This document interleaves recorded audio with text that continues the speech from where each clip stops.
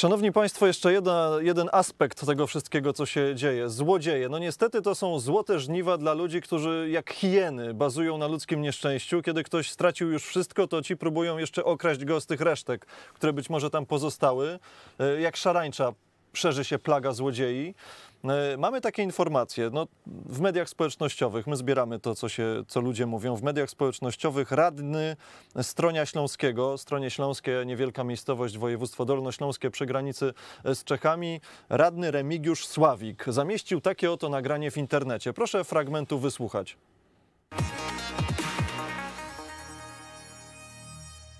działania policji, a raczej jej braku,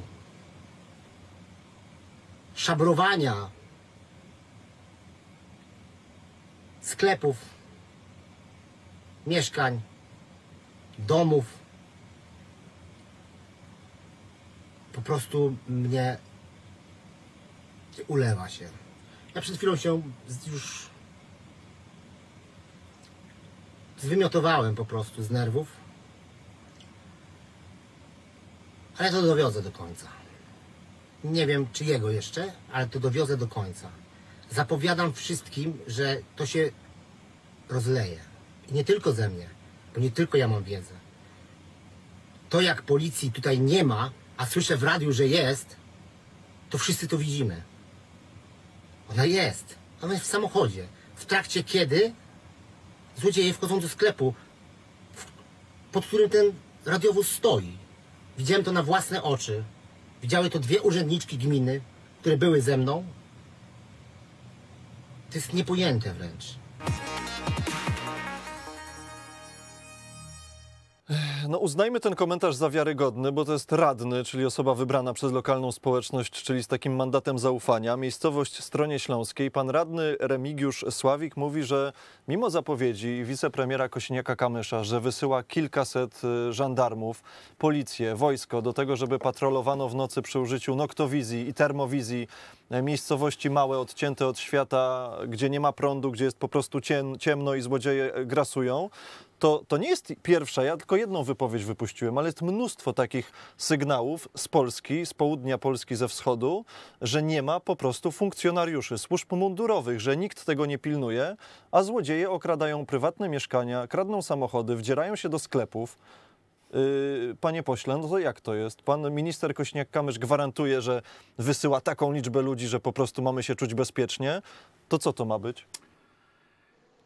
Masakra. Przede wszystkim masakra, że w, w narodzie naszym są takie jednostki, które po prostu powinny być wyeliminowane raz na zawsze. Ja uważam no, naprawdę tego typu przestępstwo, to przy przestępstwach seksualnych to jest jedno z obrzydliwszych, jakie można dokonać. W momencie, kiedy ludzie tracą dobytki, być taką szują, za przeproszeniem, żeby wchodzić do czyjegoś domu i żerować jak taka gnida. No przepraszam, użyję tak, takich no. mocnych słów, ale to jest To są obrzydliwe dobre słowa. pod kątem człowieczeństwa to jest tak obrzydliwe, to jest pierwsza rzecz, że to jest przerażające, że no, Polska wspaniały naród, ale i tak jak marszałek Piłsudski powiedziałbym, użył tego określenia. W każdym razie, no rzeczywiście to jest problem, że y, za mało funkcjonariuszy, niezależnie których formacji mundurowych, jest zaangażowanych w ten temat związany z powodziami. E, O tym mówił na wczorajszej konferencji były wiceminister spraw wewnętrznych i administracji Paweł Szefernaker, który ma kontakty, bo był odpowiedzialny za przecież koordynowanie różnych sytuacji kryzysowych, y, kiedy rządziła Zjednoczona Prawica. I on poda, podał dane, że około 800 y, strażaków chyba jest zaangażowanych w, pomoc. No to przecież y, to jest śmiech na sali, panie redaktorze. No to, jest, to jest śmiech na sali. Przecież y, podawał Paweł Szefernaker, że y, strażacy, ochotnicy, na przykład powiedzmy z Lubelszczyzny, chcieliby się zaangażować, ale oni nie mogą sami pojechać bez zgody i polecenia komendanta wojewódzkiego. I nie ma takich decyzji. I tu wracamy, szanowni państwo, do jeszcze innego problemu z brakiem decyzyjności. Brak decyzyjności wynika z tego, że Tusk, nie mając pomysłu na rządzenie, chciał rozliczać PiS. I w jaki sposób rozliczał? Rozliczał na podstawie artykułu 231 kodeksu karnego, czyli przekroczenie uprawnień. I teraz dzisiaj żyjemy w takich czasach, że siedzą w areszcie dwie urzędniczki, ksiądz Olszewski, e, siedzi były e, prezes e, rezerw strategicznych, czyli właśnie agencji, która zajmuje się kryzysami, na podstawie zarzutów o przekroczenie uprawnień. I co teraz Państwo robicie, wiedząc, co się dzieje w Polsce, uśmiechniętej Polsce Donalda Tuska i y, przy prokuraturze Bodnara? Myślicie sobie, przede wszystkim nie podejmuj decyzji ad hoc. Musisz zebrać materiały, nie wiadomo co. W takich momentach, panie redaktorze, nie ma na to czasu. W takich momentach trzeba podejmować decyzję, czasami może błędną, ale decyzyjność jest kluczowa bo mamy stan wyższej konieczności. To jest przewidziane we wszystkich kodeksach jako klauzula wyłączająca odpowiedzialność, ale niestety przez działania bodnarowców mamy do czynienia z paraliżem decyzyjnym. I przez to Polska w sytuacji kryzysu, jaki teraz mamy, jest rozłożona na łopatki. No dobra, ale mamy Jesteśmy wypowiedź... krajem rozłożonym na ale, łopatki przez ale Donalda mamy Tuska. wypowiedź ministra obrony narodowej, który jest wicepremierem, który gwarantuje Polakom bezpieczeństwo i mówi, możecie czuć się bezpieczni, bo wysyłamy służby mundurowe, które będą patrolowały ulice, przy których mieszkacie. Panie radny, no ciężko dzisiaj pan ma. Dlaczego taka mała liczba żołnierzy, żandarmów, policji, strażaków została oddelegowana do pilnowania bezpieczeństwa? Dlaczego dzisiaj po prostu Polacy skarżą się, że są okradani na oczach policji, bo ta być może boi się reagować, bo nie ma wsparcia? Panie redaktorze, e, oczywiście tego typu zachowania muszą być potępione. Wszyscy, jestem o tym przekonany, którzy dokonali mm, tego typu czynów, zostaną wcześniej czy później e, złapani.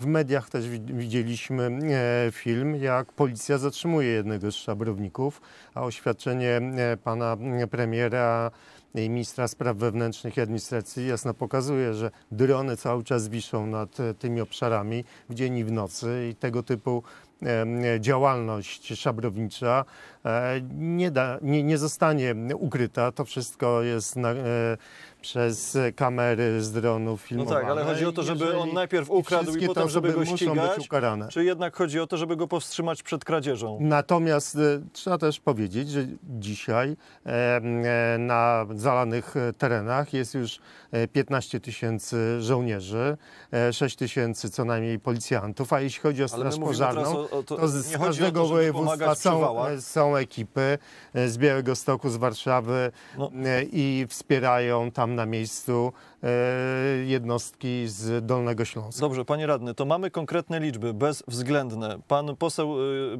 pan poseł Kantak powiedział 800, 800 y, strażaków, tak? Pan Tak, powiedział? no tak, tak słyszałem. Tak, taką 800 informację. strażaków. Ja słyszałem wypowiedź premiera, który mówi, Ko- Kosiniaka-Kamysza, który mówi y, 500 żandarmów, to już jest 1300 osób. Dlaczego nie więcej? Znaczy, dlaczego państwo polskie nie może oddelegować większej liczby funkcjonariuszy do pilnowania bezpieczeństwa, szczególnie nocą, kiedy nie ma prądu, nie ma latarni, kiedy jest ciemno i te hieny kradną ludziom ostatni dobytek życia? Zawsze można oddelegować więcej, większą liczbę funkcjonariuszy. Jestem przekonany, że e, te wszystkie działania są podejmowane racjonalnie. Jeżeli będzie potrzeba e, większej liczby osób do pilnowania imienia, to na pewno zostaną tam skierowane. Natomiast dosłownie z dnia na dzień tysiące żołnierzy jest e, e, jakby tutaj no, wysyłanych w tamten rejon. Jeszcze trzy dni temu to było 5,5 tysiąca, e, wczoraj 10 tysięcy, a dzisiaj pan e, wicepremier e, Kosiniak-Kamyk powiedział o 15 tysiącach żołnierzy zaangażowanych e, w walkę z powodzią. Dobrze, ja mówię o bezpieczeństwie. Konfederacja. Myśli pan, że, że po prostu należałoby zwiększyć tę liczbę i po problemie?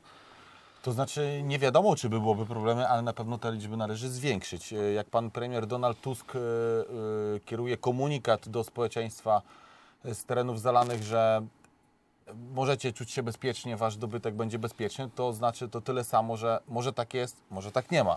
A na pytanie najlepiej, żebym nie ja odpowiadał, czy, czy jest tam bezpiecznie, tylko żeby odpowiadał właśnie radny, tak jak się wypowiedział i pan radny komunikuje w drugą stronę, że y, tam nie ma odpowiedniej ilości służb. y, Ja że... mam więcej takich wypowiedzi, tylko nie mam czasu, żeby Ja- je teraz emitować. Panie, panie redaktorze, ja dzisiaj niestety również też na portalu X wysłuchałem wielu takich y, y, rozpaczliwych, w rozpaczliwym tonie y, wypowiedzi. Y, są szabrownicy, nie wiem czy to są, czy są Polacy, mam nadzieję, że jest ich jak najmniej. Ale pozostaje pytanie, jako może osoba, która wierzy w nasz wymiar sprawiedliwości, to jednak, jednak pamiętam, czego uczono mnie na, na historii. Był ktoś taki jak Hammurabi, on miał bardzo, bardzo, bardzo, bardzo e, trafne spostrzeżenie. Może nie aż tak, ale tym ludziom mam nadzieję, że spotka kiedyś e, coś, czego e, nie chcą, że nie chcieliby oni, żeby spotkało właśnie ich. Pan senator Woźniak mówił, że w zasadzie wszystko pracuje jak w zegarku. Ja bym wrócił do tych sztabów kryzysowych, na posiedzenia których nie jest wpuszczana telewizja Republika. Niech mi pan wytłumaczy, jak to jest w ogóle możliwe, żeby łamiąc konstytucję, prawo dostępu do informacji, rozpowszechniania tych informacji, nie wpuszczać tak dużej stacji informacyjnej. Ogląda nas 10 milionów Polaków. Państwo odcinają im dostęp do informacji z pierwszej ręki o tym, co się dzieje i jakie działania rząd podejmuje, bo nie wpuszczacie nasz, nas na sztab kryzysowy we Wrocławiu. Dzisiaj już chyba po raz piąty nie zostaliśmy o 18 wpuszczeni, jeżeli się nie mylę. Jest tam też pan Kosiniak-Kamysz, który gdyby miał, przepraszam, jaja, to by powiedział premierowi Tuskowi, jeżeli nie wpuszczasz mediów, to ja nie biorę w tym udziału. Ale widocznie wszystkim wam się to podoba. Może pan senator się odnieść? Jak pan doskonale wie, nie jestem w rządzie. Nie do mnie jest to pytanie. No, tutaj w studiu Ja- nikt nie jest w rządzie, a jednak komentują posłowie. Natomiast ja, gdybym y, ode mnie to zależało, nie robiłbym z tego żadnego kłopotu, żeby wszystkie media, które chcą y, być na bieżąco, uzyskiwały informacje, ale to by była moja decyzja. Na tą chwilę, jak doskonale panowie wszyscy wiecie, nie, nie jestem w rządzie i, i nie przewiduję, żebym w najbliższym czasie był. Natomiast y, chcę się odnieść do y, tego wątku, o którym pan y, redaktor powiedział wcześniej. Dobrze, to To minuta, panie senatorze, bo dzisiaj program krótszy, nowa oprawa, trochę problemów. Minutka dla pana. Króciutkie, to są zwykłe hieny. Trzeba nazwać rzeczy po imieniu. Hieny trzeba eliminować w trybie pilnym, nagłym e, i do szpiku kości wyeliminować coś, co jest e, no, rzeczą nie, nieakceptowalną w społeczeństwie demokratycznym. Więc e, krótkie liczby.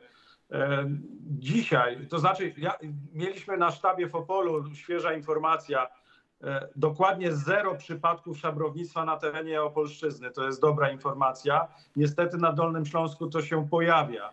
E, I tam niewątpliwie zostały skierowane chociażby dzisiaj e, dodatkowo 500 żołnierzy WOT-u, e, z tego co miałem informację, więc wierzę w to, że e, policja wraz z żandarmerią wojskową, e, wszystkimi służbami zapanuje nad tym, bo Polacy pomimo tej wielkiej tragedii w swoim kraju muszą się czuć bezpiecznie i to jest niewątpliwie I rola. rządu. ostatnie zdanie dla posła Kowalskiego. No moja mamusia 78-letnia nas w tej chwili ogląda, wysłała mi SMS-a, bardzo ją serdecznie pozdrawiam, kocham cię mamusiu i cieszę się, że jesteś bezpieczna w Opolu na Opolskim Zaodrzu, które w 97 roku było zalane i ogląda Telewizję Republikę i z tej telewizji czerpie informacje. Telewizja Republika powinna być wpuszczona na sztaby kryzysowe, ale chciałbym zakończyć ponad politycznym apelem, nie nawet w imieniu Prawa i Sprawiedliwości, który taki wniosek składali, ale w imieniu wszystkich, którzy są z Kotiny Kłodzkiej, z Głuchoła, z Nysy, z Paczkowa, zwołajmy jak najszybciej posiedzenie Sejmu. Choćby w sobotę, choćby w niedzielę, choćby jutro, choćby w nocy i podejmijmy, tak jak w czasie COVID-u, ważne ustawy, które pomogą ludziom. To jest nasz wniosek. możliwe, bo To jest nasz marszałek wyleciał z Polski. Chyba tak, Turcji, ale ja apeluję nawet do pana Pan marszałka, że marszałek jeżeli... do Turcji sobie wyleciał na wakacje, Ale, pa, ale panie redaktorze, ja akurat będę apelował do pana Paweł marszałka, Lech, że jest w Turcji, to niech Jan prosi również Kantak, o, o pomoc Kowalski, Turcji. Krzysztof Mulawa, Piotr Woźniak e, i ja, Miłosz prowadzący. Dziękuję. Dziękuję Państwu. Pierwszy odcinek, pierwsze wydanie w nowej oprawie. Jutro wracamy do Państwa. Dziękuję za dzisiaj. Do zobaczenia.